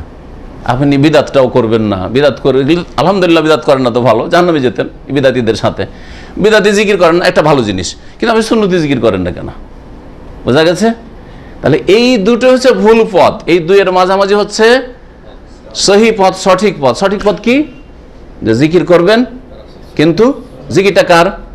আল্লাহর। জিকির এবাদত কি না? জিকির এবাদত। তো আল্লাহর এবাদত করতে হবে বেমা সারা কার শরীয়ত মোতাবেক? নবীর তরিকা মোতাবেক। এবার বুঝতে? নবীর তরিকায় যে জিকির আছে, সকালের জিকির আছে আজকার উসাবা সন্ধ্যার জিকির আজকারুল মাসা, আজকার বাদাল মাফরুজাত, ফরজ নামাজের পরে জিকির আজকার আছে, বাড়িতে ঢোকার জিকির আছে, বাড়ি থেকে বের হওয়ার জিকির আছে, বাথরুমে ঢোকার জিকির আছে, বাথরুম থেকে বের হওয়ার জিকির আছে, বিবির কাছে যাওয়ার জিকির আছে। জিকির? এগুলি? এগুলো জিকির। এরকম বহু জিকির আজকার রয়েছে। মসজিদে ঢোকার জিকির আছে, মসজিদে বের হওয়ার জিকির আছে, ঘুমের আগের জিকির আছে। এতগুলি জিকির আজকার আছে। এই এই জিকির আজকার করতে পারলেই তো যথেষ্ট আপনার জন্য। আল্লাহ শেখের বাদ রহমতুল্লাহ বলছেন যে, যেই ব্যক্তি নবিসান সন্নতি এই জিকির আজকারগুলি করবে, মোটা মোটা জিকিরটা মনে রাখেন। সকাল সন্ধ্যার জিকির এক নম্বরে। বেশ কিছু জিকির আজকার রয়েছে এই ক্ষেত্রে। আর হ্যাঁ পাঁচ অক্ত নামাজের পরের জিকির, তাহলে পাঁচবার করে হইল ওইটা, ঠিক না? আর ঘুমাবার সময়ের জিকির আজকার যে দোয়া সুরাগুলি রয়েছে আর জিকির আজকার রয়েছে, আর ঘুম থেকে উঠে জিকির। আর তারপরে বাকি যে জিকির আজকারগুলি রয়েছে, হয়তো বাড়ি থেকে বাইরে গেলেন না, অথবা আপনি গাড়িতে চললেন না হ্যাঁ ইত্যাদি, আপনি মাজুর হয়তো মসজিদে যেতে পারেন না, তখন ওগুলো জিকির আসলো না ঠিক না? এই এই জিকিরগুলো যদি করেন, তো তিনি বলছেন যে আল্লাহ যে বলেছেন, প্রশংসা করে ওয়াজা করিন আল্লাহ কাসির ওয়াজা কেরা যারা বেশি বেশি যেসব পুরুষ আর নারীরা বেশি বেশি আল্লাহ পাকের জিকির করে, আদাল্লাহ হ্যাঁ আল্লাহ পাক রব্বন তাদের জন্য মহাপুরস্কার প্রস্তুত রেখেছেন। এই যে আয়াতটি রয়েছে, এই আয়াতের অন্তর্ভুক্ত তারা হইতে পারবে আল্লাহ পাক রব্বুল আলমিন তাদেরকে মহাপুরস্কার দেবেন। এই জিকিরগুলি করেন, এটা হচ্ছে মধ্যম পন্থা। নবীর তরিকায় আপনি থাকলেন। বেদাতি জিকির, অন্তরের বেদাতি জিকির, ছয় লতিফার জিকির। লতিফাকে ঘুরাইতে হবে। ফাজাইল আমল আছে। ছয় লতিফার জিকির শুনেছেন? হ্যাঁ যারা ওই সব এতে গেছেন বা ওই কিতাব পড়েছেন, তাদের ছয় লতিফার জিকির। কোথাও নেই এগুলো, কোরআন, হাদিসে কোথাও নেই, নবীর তরিকাতে নেই একবারে ছয় লতিফার জিকির। তারপরে জিকির এই দিক থেকে কলবে টান দিতে হবে, ওই দিকটা টান দিতে হবে, শ্বাস এই মনে নিতে হবে আর এইভাবে নিতে হবে। এসব কিছু নেই। এসব জটিলতা ইসলামে নেই, ফালতু কথা এগুলো। বিদাতি কথা, নবীর তরিকা নয়। তারপরে মুখে জিকির। একেবারে লা এলাহা ইল্লাল্লাহ মোহাম্মদুর রসুল্লাহ আল্লাহরও জিকির মোহাম্মদ রসুল্লাহর জিকির, এটাও ইসলামে নেই। লাইলা দেখেন সন্ন্যতি জিকির করবেন লাইলাহ ইল্লাল্লাহ বলবে না। কি করবে? ইল্লাল্লাহ। হয় মোহাম্মদ রসুল্লাহ সহ এক বিদাত, আর না হইলে হাফ করে দিয়ে ইল্লাল্লাহ ইল্লাল্লাহ ইল্লাল্লাহ জিকির। আর না হইলে আল্লাহ আল্লাহ। আর না হইলে হাখু হাখু হাখু হাখু জিকির। অন্ধকার একদিন দিছে, মসজিদে হাকু হাকু করছে। আমি তো ভয় পেয়ে গেছি, কি জানি জিনটি আছে নাকি? মাগরে বেশার মাঝখানে অন্ধকারে আছে মসজিদ, আবার দেশের মসজিদে তো লাইট টাইট থাকে না। কি জানি হাকু, হাকুর আওয়াজ হচ্ছে জীবনে এই দৃশ্য দেখিনি, এক শহরে গেছি তো ওদেরই মসজিদ, বিদাতিদের মসজিদ, যারা এরকম জিকির করে। প্রথমখানে শরীরের যেন এগুলো, লোমগুলো যেন শিউরে উঠেছে। স্বাভাবিক মানুষ হিসাবে তো এই দৃশ্য তো কোনোদিন দেখিনি জিন টিন তাহলে তো বিপদ।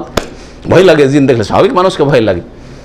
তারপরে বুঝতে পারলাম যে না, এগুলো জিন না এগুলো মানুষ বিদাতি মানুষ। এদের জিকির চলছে অন্ধকারে। জি হ্যাঁ। জিকিরের ক্ষেত্রে নবী সাল্লাম সাহাবাই কিরামদের তিনশো ষাটটা অঙ্গ একবার ছড়িয়ে ছিটিয়ে যেত ঘরের মধ্যে। আর প্রত্যেকটা অঙ্গ লাফাচ্ছার জিকির করছে লাফাচ্ছার জিকির করছে। এগুলো কোনদিন শুনেছেন? নবীর নবীর হয়েছে? কোন সাহাবির হয়েছে? কিন্তু গাঙ্গুহি সাহেবের হয়েছে বুঝতে পারলেন? তো এটা সন্ন্যতি জিকির হইল? হ্যাঁ তো এটা মোহাম্মদ রসুল্লাহ সাক্ষী দেওয়া হইল? এবার বুঝতে পারছেন না পারছেন না? জি হ্যাঁ কিচ্ছা কিচ্ছা আছে ভারতে? গাঙ্গুই সাহেবের একটু ছিদ্র ছিল তার তো হুজরা শরীফ, একটু দেখছে তো, আরে তিনশো ষাটটা অঙ্গ প্রত্যঙ্গ ছড়িয়ে ছিটে পড়ে আছে। আর এক একটা হাড় হাড্ডি আর গোস্ত লাফাচ্ছা জিকির করছে লাফাচ্ছা জিকির করছে। এ কোন জিকির? এই জিকির ইসলাম আছে? আল্লাহর এবাদত করবেন না, একমাত্র বিল্লা বেমা সারা। কার তরিকায়? নবীর তরিকায় আসতে হবে। রাস্তা জান্নাতের হচ্ছে নবীর রাস্তাটা। নবীর রাস্তা ছাড়া আর কোনো জান্নাতের রাস্তা নেই। সুতরাং এই ভ্রান্ত ধারণা রাখবেন না যে এই জিকির আছে হুজুর কিবলাদের, গোস কুতুবদের, যে প্রত্যেকটা অঙ্গ লাফায়ার জিকির করে। আর তার মজার কথা, কেউ দেখলে তাড়াতাড়ি দ্রুত লাফিয়া একবারে তিনশো ষাটটা অঙ্গ একসাথে মুহূর্তের মধ্যে বলছে যে আবার জড়িয়ে গিয়ে বসে গেছে। আরে আরে তুমি এখানে করতে আসলে? কিচ্ছা কাহিনী একেবারে ডাহা মিথ্যা ডাহা মিথ্যা কথা। এগুলি না আম্বিয়া রসুলগণ, কোনো নবীর হয়েছে, না নবীর কোনো সাহাবিদের হয়েছে, কোনো নবীর সাথী সঙ্গীদের এগুলো হয়নি। কিন্তু বিদাতিদের এগুলো, বিদাতিদের কিচ্ছা কাহিনী এগুলো, বুঝতে পেরেছেন? আল্লাহ পাক রব্বুল আলমী যেন এই কর্ম থেকে আপনাদেরকে বাঁচায়, সতর্ক, সাবধান। এগুলো হচ্ছে দেশীয় জিকির। দেশীয় জিকিরের আর একটা দিক হচ্ছে সম্মিলিত জিকির। জিকির করবেন আর করলে একসাথে। একটু মহাব্বতের সাথে জিকির করেন। আর ওয়াজ মাহফিলে মিলাদ মাহফিল, মহাব্বতের সাথে জিকির করেন। শুরু করে দিল সুর ধরে। বক্তা, লা এলাহা বলে ছেড়ে দিল। কুফরি কালামা বলে ছেড়ে দিল। লা এলাহা মানে কি হয়? লা এলাহা মানে কি? লা মানে নেই, আর এলাহা মানে মাবুদ। উপাস্য নেই। বক্তা আপনার যেগুলো রেকর্ড হয়ে আছে, আপনার ইউটিউবে বা বিভিন্ন এতে যদি শোনেন তাদের ওয়াজ, ক্যাসেটে দেখবেন যে কুফুরি কথার উপর থেমে গেছে। ইল্লাল্লাহ বলছে না। তো লা এলাহা মানে এলাহ নেই। যতক্ষণ ইল্লাল্লাহ না বলে তখন তো কুফুরি কথা। হ্যাঁ? নাস্তিকের কলেমা এটি। তো তাহলে বক্তা সাহেব যে বসে গেল, লা এলাহা শুরু করে ওরা বলে, লা এলা মহব্বতের সাথে একটু জিকির করেন তো, লা এলাহা এদিকে পানি খাচ্ছে আর আপনারা ইল্লাল্লাহ পোড়া করছেন। ইল্লাল্লাহ পোড়া করছেন। আর সুর ধরে নবী করেছেন, নবী সাহাবিরা করেছেন, তাহলে এই আপনি মোহাম্মদ রসুল্লাহ কথার সাক্ষী দেন না। এই সাক্ষ্য প্রদানে আপনি মিথ্যাবাদী। যদি এই রকম বিদাতি জিকির করেন, তাহলে সম্মিলিত জিকির করেন, সম্মিলিত দুরুদ সাহাবিরা পড়েছেন।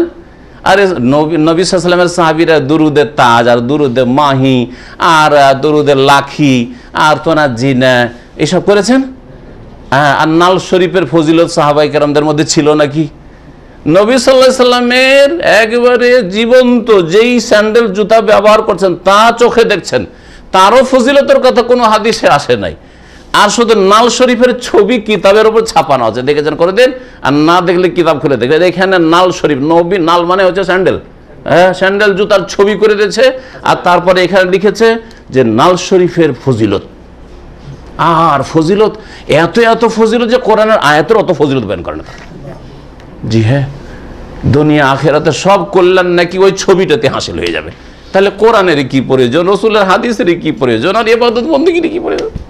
ফরজ অজেব আদি করে কি প্রয়োজন? এগুলো হচ্ছে দেশি ধর্ম। আমরা এগুলো থেকে সতর্ক করছি, আপনাদের হিতাকাঙ্ক্ষী হয়ে যায় আপনাদেরকে ভুলগুলি থেকে উদ্ধার করতে হবে। না হইলে ধর্ম করলে জান্নাত পেলেন না। তো লাভটা কি? এত মেহনত পরিশ্রম করে আপনি জিকির করলেন, দুরুদ পড়লেন, আর ওজিফা করলেন, আর কত কি করলেন আপনি, কিন্তু জান্নাত পেলেন না। তো এর চাইতে ব্যর্থতার কিছু আছে? এর চাইতে বেশি ব্যর্থতার কিছু আছে? আমেলে তো না সেবা কঠোর পরিশ্রম করে কাজ করলেন। কঠোর পরিশ্রম করে আল্লাহ কোরআন সুরে আসে বলছেন, কিন্তু তাসলা নারান হামিয়া, জ্বলন্ত আগুনে দাখিল হইতে হবে। এটা হচ্ছে বিদাতিদের অবস্থা। নবী এখানে বলছে মান আমেল আমালান কেউ যদি এমন কোন আমল করে লেসা আলী আমরনা, যেটা আমার আদর্শ মোতাবেক নয়, তাহলে সেটা ফহরাদ্দুন প্রত্যাখ্যাত কবুল করবেন না। তাহলে এসব জিকির কবুল হয় না, সম্মিলিত জিকির কবুল হয় না, ইল্লাল্লাহ জিকির কবুল হয় না এই কবুল হয় না, আল্লাহ আল্লাহর জিকির কবুল হয় না জিকির জিকির কবুল হয় না। বোঝা গেছে? তাজ, লাখি, মাহি, এগুলো বানানো এগুলো কবুল হয় না, ওই নবী দুরুদ হবে আপনাকে। আর না হয় নবীর নাম আসলে সাল্লাহ সাল্লাম পড়তে হবে জি এরকম বহু এবাদত বন্দী রয়েছে আমাদের দেশে। যে এবাদত বন্দীগুলি আসলে ইসলামে নেই, কিন্তু লোকেরা এগুলি এবাদত মনে করে। নবীর তরিকায় একমাত্র কি করতে হবে? আল্লাহর এবাদত করতে হবে। মিলাদ নেকির জন্য করা হয় কি হয় না হ্যাঁ? বারো রবিউল আলী ঈদে মিলাদুন নবী। নেকির জন্য করছেন না করছেন না? তাহলে কাজটা এবাদত কি না? নবী করেছেন? নবীর তরিকা হইল? নবীর তরিকা। নবীর পাঁচশো বছর পরে শুরু হইল। মেসরে শুরু হইল রাফেজি শিয়ারা শুরু করল, আর এরাকে বিদাতি সুন্নিরা শুরু করল। তাহলে আপনি নবী সাল্লামের পাঁচশো বছর পরে শুরু হচ্ছে যেগুলি বিদাত। আর নবী সাল্লামের পরে যদি দশ বছর, পাঁচ বছর পরেও যদি শুরু হয়েছে এটা শরীয়ত না, ওই দরজা বন্ধ হয়ে গেছে। চারশো, পাঁচশো বছর পরে শুরু হবে, আর সেটাকে আপনি সোয়াবের কাজ মনে করে করবেন। তো নবীর তরিকায় কোথায় করেন নবীর তরিকায় যখন করলেন না, তাহলে মোহাম্মদ রসুল্লাহ সাক্ষী আপনি কি আসলে দিলেন? সাক্ষী দিলেন না। এবার বুঝতে পেরেছেন? তাহলে এমনি নয় যে আমরা মন্ত্র কেলমা তাইয়া পড়ছি লাইলাহিল্লাহ পড়ছি, মোহাম্মদ রসুল্লাহ পড়ছি, মুসলিম হয়ে যাচ্ছি। না না না। ভালো করে মনে রাখবেন যে এই কাজগুলি আমাদেরকে করতে হবে। কি কাজ বললাম? হ্যাঁ চারটি কাজ। নবী যা হুকুম করেছেন, পালন করতে হবে। যা নবী সংবাদ দিয়েছেন, বিশ্বাস করতে হবে। নবী যা হতে নিষেধ করেছেন বা ধমক দিয়েছেন, সতর্ক করেছেন, বেঁচে থাকতে হবে। নবীর তরিকাই একমাত্র আল্লাহর ইবাদত করতে হবে। ওয়াদালিলুসলাহ দ্বিতীয় ইসলামের রুকুন কি ছিল? সালাত নামাজ ছিল। তো নামাজ যে ইসলামের দ্বিতীয় রুকুন, এর দলিল কি? আর জাকাত যে তৃতীয় রুকুন, এর দলিল কি? দুটোকে একসাথে এই জন্য বর্ণনা করা হয়েছে যে অধিকাংশ আয়াতগুলিতে কোরআনে কারিমে সালাতের সাথে, নামাজের সাথে জাকাত বলা হয়েছে। সেজন্য একসাথে দুটোর দলিল পেশ করে দিচ্ছেন। আর তার সাথে সাথে যেমন নামাজের এতে দলিলও রয়েছে, আয়াতে জাকাতেরও দলিল রয়েছে, আর তৌহিদের ব্যাখ্যাও রয়েছে। তৌহিদ মানে শুধু লাইরাহিল্লাহ পড়া নয়, বরং তৌহিদ কার নাম এখানে বলা হয়েছে। তৌহিদ মানে হচ্ছে যে একমাত্র নিখুঁত, নির্ভেজালভাবে আল্লাহর ইবাদত করতে হবে। তৌহিদ মানে শুধু আল্লাহর রবুবিয়াত কাজের ক্ষেত্রে তৌহিদ প্রতিষ্ঠা নয়। যেমন মক্কার মুশ্রিকেরাও আল্লাহকে সৃষ্টিকর্তা মনে করত। এখনও হিন্দুরাকে জিজ্ঞেস করলে ওপরওয়ালা বলে না বলে না। তো ওপরওয়ালা বললে, মুসলিম হবে হিন্দু? যতক্ষণ পর্যন্ত এক আল্লাহর এবাদত না করে মূর্তি পূজা না ছাড়বে, ঠিক কিনা? জি হ্যাঁ তো যে কথাটি এখানে বলতে চাইছেন লেখক, তো তফসির তৌহিদ বলে, তৌহিদের ব্যাখ্যা বলে যে তৌহিদের রবুবিয়াত কোনো কাজে আসবে না, যতক্ষণ পর্যন্ত তৌহিদুল এবাদা বা তৌহিদুল অলুহিয়া আল্লাহর এবাদত বন্দীগীর ক্ষেত্রে আল্লাহ এক ও একক এই কথা প্রতিষ্ঠা না করবে। বলছে, এই তিনটি কথার দলিল এই আয়াতের সুরাতুল বাইয়ানা আমপারার আর সুরা তার আয়াত নম্বর পাঁচ। বলছেন, মহান আল্লাহর বাণী ওমা উমেরু ইল্লা লিয়া আবুদুল্লাহ মুখলিসিন আলাহুদ্দিন আহনাফা ওয়া ইউকিমুস-সালাত ওয়া ইউতুজ যাকাত ওয়া যালিকা দীনুল কাইয়্যিমা। বলছেন, একমাত্র তাদেরকে নির্দেশ দেওয়া হয়েছে। এটা ভাব অর্থ করলাম। শাব্দিক অর্থ যদি করা যায়, এভাবে বললেন অমা ওমেরু তাদেরকে এ ভিন্ন আর কোনো হুকুম দেওয়া হয়নি। এ ভিন্ন? বা এছাড়া আর কোনো হুকুম দেওয়া হয়নি কি? যে তারা আল্লাহর এবাদত বন্দী করবে। একমাত্র কার এবাদতবন্দি করবে? আল্লাহর। একমাত্র। তাদেরকে এছাড়া আর কোনো হুকুমই দেওয়া হয়নি। যদি আপনাকে আপনার বাপ বলে যে তোমাকে সৌদি আরব যাওয়া ছাড়া আর কোনো যাওয়ার যাওয়ার পারমিশন দেওয়া হয়নি, তার মানে কি? সৌদি আরব ছাড়া বাহারাইন যাওয়া চলবে? দুবাই যাওয়া চলবে? না ভাই, আমার অন্য জায়গায় কাজে যাওয়া চলবে না। আমার বাপ বলছে সৌদি আরবে যাবে যাওয়া না হলে থাকো বাড়িতে। ঠিক না? বুঝতে পারছেন তাইলে ভাষার ভঙ্গিমাটা? তাহলে এতে বোঝা গেল যে একমাত্র আল্লাহর এবাদত যদি করা হয়, তাহলে সেটা এবাদত হবে। কিন্তু আল্লাহরও এবাদত করলাম পাঁচক তো নামাজে পড়লাম। আল্লাহকেও সেজদা করলাম, আর ওরসেও গিয়ে মাজারে সেজদা। আল্লাহর জন্য কোরবানির সময় কোরবানি করলাম, আর ওরসের সময় মাজারে গিয়েও খাসি মরক জবাই করলাম। এটা এবাদত হইল না, এটা শির্ক হইল। বুঝা গেছে? শির্ক হইল, আল্লাহকে অমান্য করা হইল। তাই বলছেন যে তাদেরকে এছাড়া আর কিছু নির্দেশ দেওয়া হয়নি যে তারা একমাত্র আল্লাহর এবাদত করবে। এতটুকুই তো তাকিদের জন্য যথেষ্ট ছিল। তারপর আরও তাকিদ দুইবার করে। মুখলেসিন আলাহুদ্দিন একমাত্র তার জন্য, আল্লাহর জন্য আনুগত্যকে নিখুঁত নির্ভেজাল করে। এবাদত বন্দিগি আনুগত্য সব কার জন্য হবে? এক নির্ভেজাল আল্লাহর জন্য হবে। তাতেও আল্লাহ ক্ষান্ত হচ্ছেন না। বলছেন হোনাফা আ হানিফনের বহু বচন একনিষ্ঠ হয়ে একগ্র চিত্তে আল্লাহ অভিমুখী হয়ে এমন আল্লাহ অভিমুখী হবে যে এদিক ওদিক ঘুরেও তাকাবে না। হ্যাঁ? না দরগা, না দুর্গা, না কেউ দিতে পারে, না কেউ অবনতি ঘটাতে পারে, না কেউ উত্থানের মালিক, না কেউ পতনের মালিক, একমাত্র আল্লাহ ফাকরাবুল আলমিন। যেমন ক্ষমতার ক্ষেত্রে, তেমন এবাদত বন্দীগীর ক্ষেত্রে, সব কিছুর ক্ষেত্রে। তাই ইবাদত করতে হবে। কার? একমাত্র আল্লাহর। এখলাসের সাথে মুখলেসি না এখলাসের সাথে তারপরে একনিষ্ঠ হয়ে। ইব্রাহিম আলী সাল্লাম হানিফ ছিলেন, আপনাকেও হানিফ হইতে হবে। ইন্না ইব্রাহিমা কানা উম্মাতান কানাতান লিল্লাহে হানিফা। এক বছরের ক্ষেত্রে হানিফ বলেছেন। আর আপনাকে, আপনাদেরকে হনাফা হইতে হবে, হানিফ হইতে হবে। তাহলে মুসলিম হইতে পারবেন আল্লাহ পাক বলছেন তাহলে এবাদত হবে, না হলে শিরক হবে। তাহলে দলিল তৌহিদের হয়ে গেল, তৌহিদের ব্যাখ্যা হয়ে গেল তফসির তৌহিদ হয়ে গেল আগে। ওয়কিম সলাতা, আর সলাতও কায়েম করতে হবে। এবাদতের মধ্যে সলাত অন্তর সামিল। এবাদতের অন্তর্ভুক্ত, গুরুত্বপূর্ণ এবাদত হচ্ছে সলাত কিন্তু বিশেষ করে বর্ণনা করা হচ্ছে যে অনেক এবাদত বন্দিগি রয়েছে। অন্তরের এবাদত রয়েছে, বচনের কথার এবাদত রয়েছে অঙ্গ প্রত্যঙ্গের এবাদত রয়েছে, অর্থের এবাদত রয়েছে। কিন্তু বিশেষ করে বিশেষ করে শুরু করবে কোন এবাদত থেকে? লাই রাহিল্লাহর পরে মোহাম্মদ রসুল্লাহর পরে এই শাহাদাতের পরে সলাদ থেকে শুরু করে তার মানে সলাৎ হচ্ছে লাই রাহিল্লাহ মোহাম্মদ রসুল্লাহর পরে দ্বিতীয় রুকুন দ্বিতীয় স্তম্ভ ইসলামের। বোঝা গেল না? ওমা উমেরু ইল্লাহ আবুদুল্লাহ মুখলেসিন আলাহউদ্দিন এখান থেকে বেরিয়ে গেল ইসলামের প্রথম স্তম্ভ লাইলাহ ইল্লাল্লাহ। হ্যাঁ? বেরো না বেরো না? আর ওয়াইকিমুসলা হচ্ছে দ্বিতীয় স্তম্ভ, দ্বিতীয় খুঁটি ইসলামের। ওয়ুতুস জাকাত আর জাকাত দেবে, এটা হচ্ছে তৃতীয় স্তম্ভ ইসলামের। ঠিক না? তাহলে আমাদের দেশি তরিকে যে বলা হয়, কালেমা, নামাজ, রোজা, তিন নম্বরে রোজা করে দিলেন। আল্লাহ তিন নম্বরে জাকাত বলছেন, আপনি রোজা কেন করবেন? কেন করবেন এটা? তারপরে, রোজার পরে? চার নম্বরে হজ। জাকাতকে ঠেলতে ঠেলতে করে ঠেলেই দিলেন ওকে। হ্যাঁ? আল্লাহ নিয়ে আসছেন এখানে, আর ওকে দিলেন ঠেলে যে তুমি ওখানে বসো। কথা বুঝছেন কি আশ্চর্য কথা। তাহলে আমাদের দেশের, এমনকি ইসলামের ইস- স্তম্ভ খুঁটিগুলি গণাইতে গিয়েও ভুল। কোরআনের সিরিয়াল আমরা ফলো করি না। অয়ুতুস জাকাত জাকাত দেওয়া দিনুল কাইয়্যিমা। এটি হচ্ছে একামতের দিন। ভালো করে শোনেন। ওয়াজালেকা দিনুল কাইয়্যিমা মানে হচ্ছে, এটা হচ্ছে একামতের দিন। তাহলে কোরআনের একামতের দিন শুনেন। আমি ইনশাআল্লাহ একামতের দিন সম্পর্কে শুধু আলোচনা করব। আজকে শুধু একটু আপনাদেরকে একটু সামান্য দিলাম। দিন মানে দিন। আর কাইয়্যিমা থেকে তো একামত ঠিক না? দিনুল কাইয়্যা মানে সুপ্রতিষ্ঠিত দিন। কাইয়্যামা থেকে তো একামতের দিন ঠিক কিনা? তাহলে আমাদের দেশে যে রাজন ইসলামের নামে যে রাজনীতি করে তার আবার একামতের দিন করতে হবে। একামতের দিন করতে হবে একামত দিন করতে হবে। একামত দিন কি ভাই? বলছে নামাজ না না নামাজ একামত দিন নয়। রোজা একামত দিন না জাকাত একামত দিন হইল না, হজ করে একামতের দিন হইল না। হ্যাঁ বিবি মেয়েদের পর্দা করে একামতের দিন হলো না। বুঝা গেছে, হালাল খেয়ে একামতের দিন হলো না, হারাম থেকে বেঁচে একামতের দিন হলো না।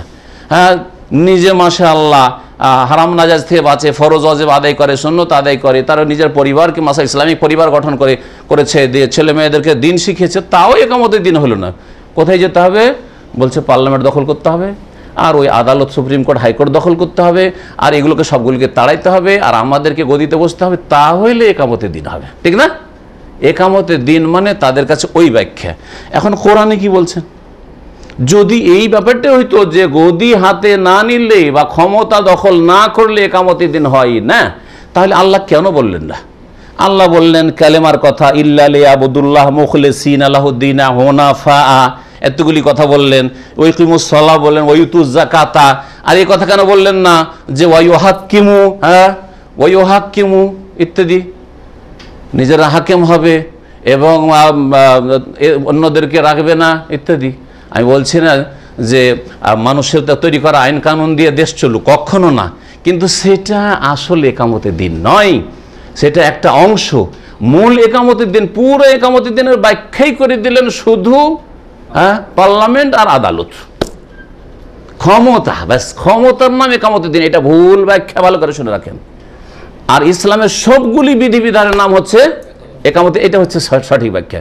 আপনি নামাজ পড়ছেন ব্যক্তি জীবনে আপনার ব্যক্তি জীবনে একামতের দিন করছেন আপনি। আপনি শিরকে যান না, দরগা দুর্গার আকিদাই রাখেন, আলহামদুলিল্লাহ। তৌহিদ প্রতিষ্ঠা করছেন, আপনার সবচেয়ে বড় একামতের দিন এটা। পাঁচ অক্ট নামাজ পড়ছেন, এক বড় একামতের দিন। আপনি জাকাত দিচ্ছেন বছরের বছর, আপনার একামতের দিন। আপনি রোজা রাখছেন, একামতের দিন। আপনি হজ করছেন, একামতের দিন। আপনার মেয়েরা সাবালিকা হইতেই মাত্র। প্রথম সাবালিকা হয়েছে, তার আগে বোরকা এনে দিয়ে দিচ্ছেন আগে থেকে পর্দার শিক্ষা দিচ্ছেন। সাত বছর, আট বছর থেকে মাথা ঢেকে চলাফেরা করাচ্ছেন বাচ্চাদেরকে। একামতে দিন। আপনার ছেলে মেয়েদেরকে দিনের শিক্ষা দিচ্ছেন একামতে দিন। আপনি দিনের দাওয়াত দিচ্ছেন, এ- একামতে দিন। আর তার সাথে সাথে আল্লাহর আইন মোতাবেক দণ্ড বিধান কায়েম করতে হবে, চোরের হাত কাটতে হবে, কেসাসের বাস্তবায়ন করতে হবে শরীয়তের জেনা, জেনাকারী শাস্তি দিতে হবে, দেশে মদের লাইসেন্স থাকবে না, তার আগে মাজারের লাইসেন্স থাকবে না।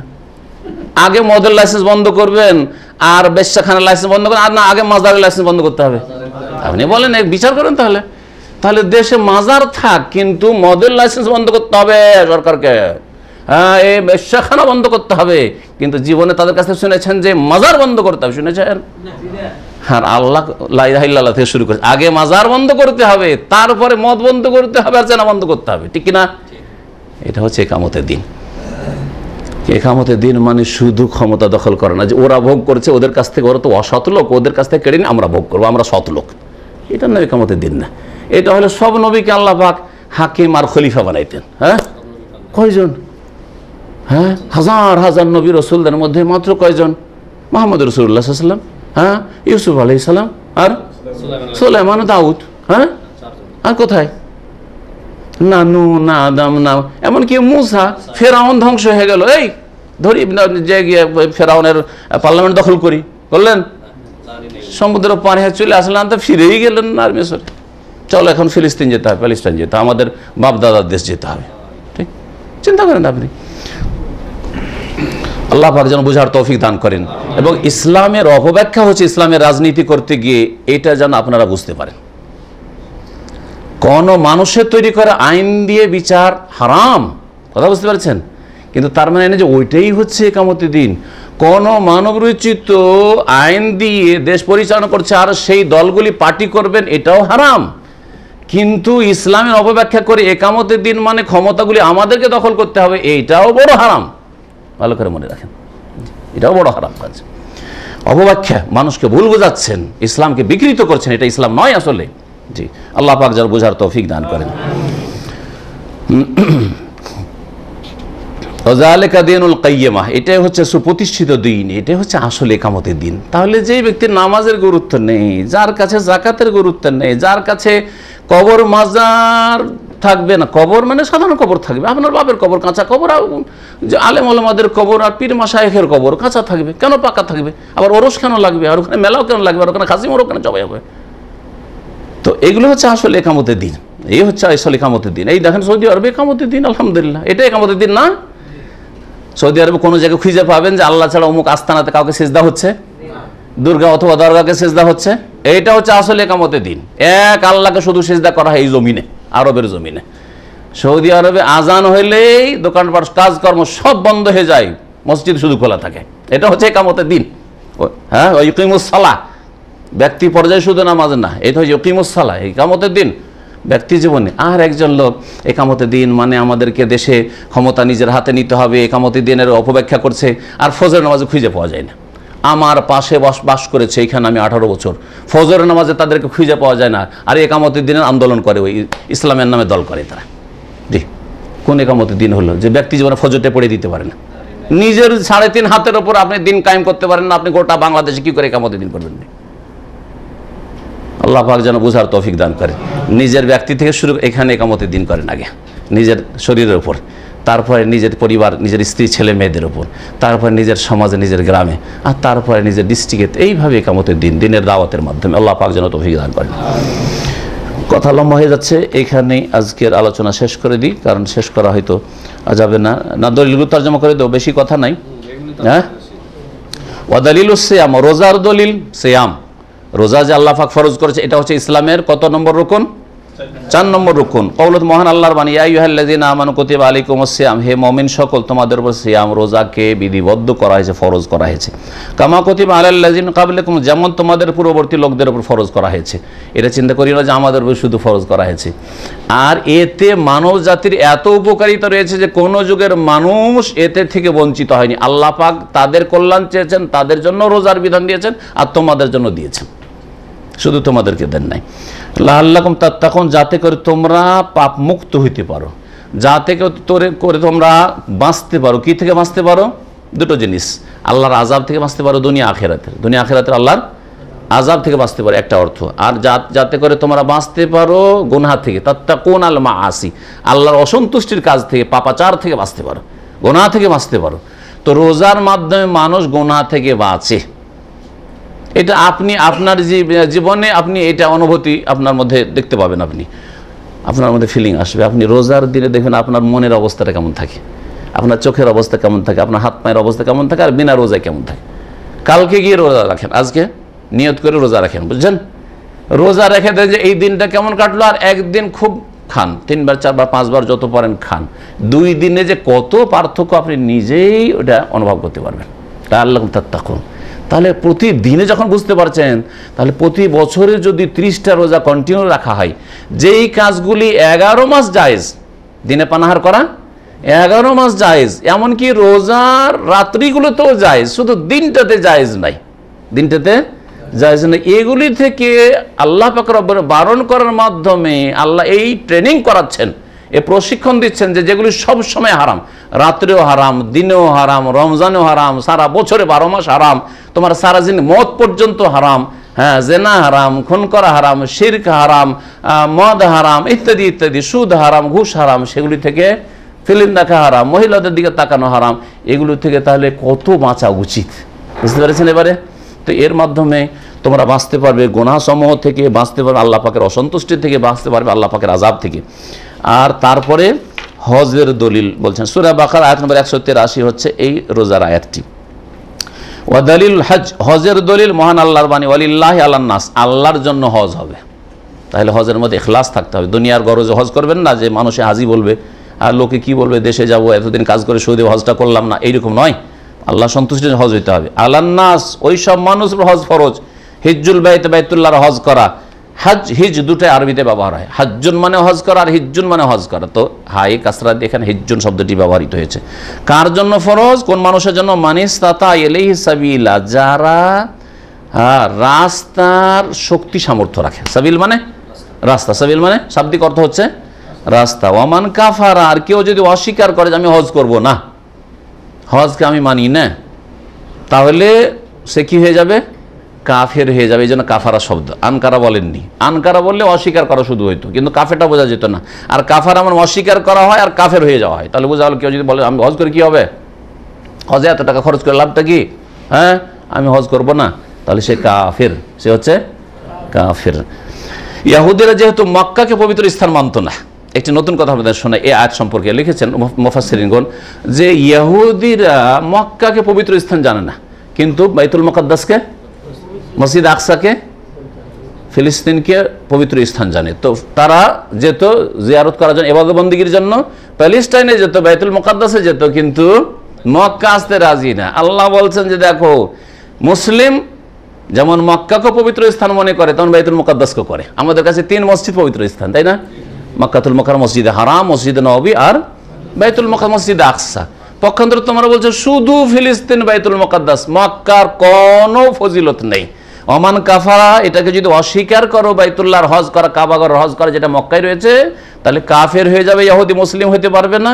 ফাইনাল্লাহ গানিউন আইল আলমিন। আর শুনে রাখো যে আল্লাহ পাক বিশ্ব জগৎ থেকে হ্যাঁ, অমুখাপেক্ষী।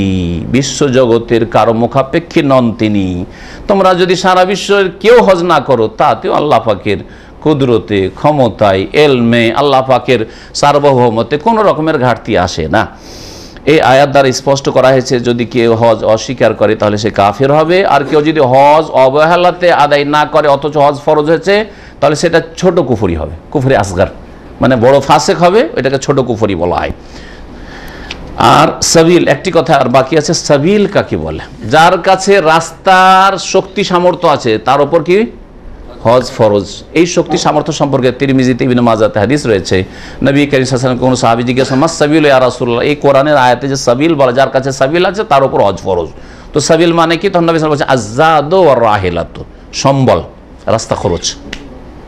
সম্বল এক হচ্ছে রাস্তা খরচ। যেতে আর আসতে যা খরচ হবে সেটা বন্ধ করে দেন। যেতে, আসতে যা খরচ। হজে গিয়ে আপনি মক্কায়, মেনায়, আরাফায়, মোজদালেফায় যে থাকবেন, যে কয়দিন থাকবেন, তার খরচ। এটা হচ্ছে সম্বল, আপনার নিজের সম্বল। তার সাথে সাথে আপনার সাথে সংশ্লিষ্ট আপনার স্ত্রী বিবাহিত আপনি, আপনার ছেলে মেয়েদেরকে দেশে রেখে যাচ্ছেন, তাদের যতদিন আপনি রুজি রোজগার করতে পারেন হজের কাজে থাকবেন, ততদিনের খরচ কমপক্ষে দিয়ে যেতে হবে। এতটা যদি থাকে, তার সাথে সাথে ঋণ মুক্ত হইতে হবে। ঋণের বোঝা চেপে আছে, লোকজনের পাওনা বাকি আছে, আর আপনি হজে চলেছেন। না, আগে ঋণ পরিশোধ করেন, তারপরে হজে যান। তবে কেউ যদি আপনাকে ঋণ দেয় যে অসুবিধা নেই, পরে দিও, তুমি হজটা আগে সেরে এসো, কখন সব সুযোগ আসে না আসে আবার, সেটা আলাদা কথা। কিন্তু আপনার ওপর ঋণ থাকলে আসল হচ্ছে যে ঋণ পুরা করতে হবে। আর তারপরে আপনার কাছে রাস্তা খরচ রয়েছে, তারপরে আপনি যাদেরকে বাড়িতে রেখে যাচ্ছেন, তাদের খরচ রয়েছে, আপনার বাপ মার খরচ চালাচ্ছিলেন, তাদেরও খরচ দিয়ে যেতে হবে হজের ওই সময়কালীন য- যতদিন হজে থাকবেন। এটার নাম হচ্ছে জাদ। আর আরেকটা হচ্ছে রাহেলা মানে বাহন। বাহন। নবী সাল্লামের জামানায় একটা উঁট লাগতো। উঁট না হলে হেঁটে কী করে হজ করবে? তবে কাছের লোকেরা যারা হেঁটে যেতে পারে তারপরে হেঁটেই হজ ফরত হ্যাঁ যদি আজকে কোনো গাড়ির ব্যবস্থা না থাকে, তাহলে জিদ্দার লোকের জন্য বা সৌদি আরবে যারা মক্কার কাছাকাছি, দু চারশো কিলোমিটার মধ্যে বা হাজার কিলোমিটার মধ্যে আছে, হেঁটেই হজ ফরজ তাদের জন্য হেঁটেই হজ ফরজ। কিন্তু ভারত, বাংলাদেশ, পাকিস্তানের জন্য হেঁটে হয়তো হজ ফরজ নাই এটা বাহনের ব্যবস্থা লাগবে। আজকাল বাহন আর উঁটেরও দরকার নেই। কি লাগবে? একটা টিকিট লাগবে। দামাম দামাম থেকে প্লেনের টিকিট শর্ত? আপনার কাছে প্লেনের টিকিট নেই, কিন্তু বাসের টিকিট আছে। বাসের টিকিটের পয়সা আছে। মানে বাসে আপনি হজে যেতে পারবেন, কিন্তু প্লেনেও যেতে পারবেন এরকম নাই। তো হজ ফরজ কি না হজ ফরজ। কিন্তু বাংলাদেশ থেকে? যদি বাসে আসি, তাহলে কোনো রকম খরচ জুটে যাবে, কিন্তু প্লেনের খরচ নেই। হ্যাঁ? অথবা এক যুগ ছিল যে প্লেনে হাজি আসতো আর পানি জাহাজও আসতো। হ্যাঁ তাহলে পানি জাহাজের খরচ আছে প্লেনের নেই, হজ ফরজ। কারণ পানি জাহাজের ব্যবস্থা আছে। এখন বাসের ব্যবস্থা নেই, আপনি শুধু হিসাব করবেন যে এখান থেকে আমাকে ভারত শেষ করে পাড়িয়ে দিতে, পাকিস্তান পৌঁছতে কত লাগে আর ওখান থেকে আবার এইদিকে আসতে কত লাগে, এই হিসাব করে তার কাজ হবে না। কারণ এভাবে তো আসতে পারবেন না আপনি কয়েকটা দেশ পার করে। যার ফলে আপনাকে একটা প্লেনের টিকিট লাগবে আর তার সাথে সাথে সম্বল লাগবে। আপনার নিজের সম্বল, নিজের পরিবারের সম্বল, এতটা থাকলেই আপনার হজ ফরজ। হজ ফরজ হওয়ার জন্য মেয়ের বিবাহ দিতে হবে, ছেলের বিবাহ দিতে হবে, সরকারি চাকরি থেকে রিটায়ার করতে হবে, তারপরে দাড়ি সাদা হইতে হবে ইত্যাদি ইত্যাদি, নামাজটা ঠিক করে নি, ইত্যাদি, না, নামাজ ঠিক না করলে তো আপনি মুসলিমই না। নামাজ এক্ষুনি ঠিক করতে হবে। হ্যাঁ আর দুই চার বছর লাগবে আপনার নামাজ ঠিক করতে সেই জন্য হজ করছেন না, অথচ পয়সা হয়ে আছে যার নামে যেতে হবে। এই ছিল কথা। এই পাঁচটি ইসলামের রুকুন সম্পর্কে আল্লাহ ফাকরাবুল আলম যেন আমাদেরকে নিজেদের সংশোধনের তৌফিক দান করেন। আল্লাহ ফাকরাবুল আলমিন দিনকে সত্যিকার অর্থে প্রতিষ্ঠা করার, কায়েম করার তৌফিক দান করেন। আর দিনের যে অপব্যাখ্যা, একামতের দিনের অপব্যাখ্যা, এসব গুমরাহি এইরকমই বিদাতি এবাদত বন্দিগি থেকে আল্লাহ পাক যেন আমাদেরকে বেঁচে থাকার তৌফিক দান করেন।